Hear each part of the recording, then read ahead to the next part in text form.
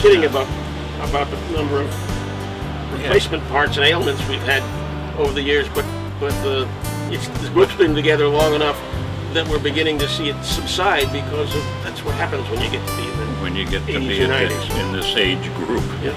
Mrs. Greiser, a wonderful, exceptional lady. She was just Dick's mother.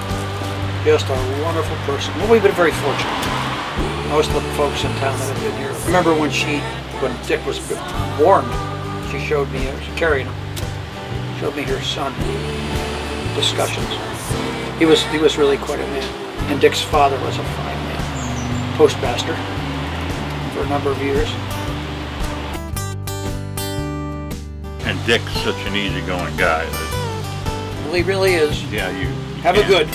Have a good. That's his, when you're leaving. Have a good, Yeah. whatever that is. That's Dick.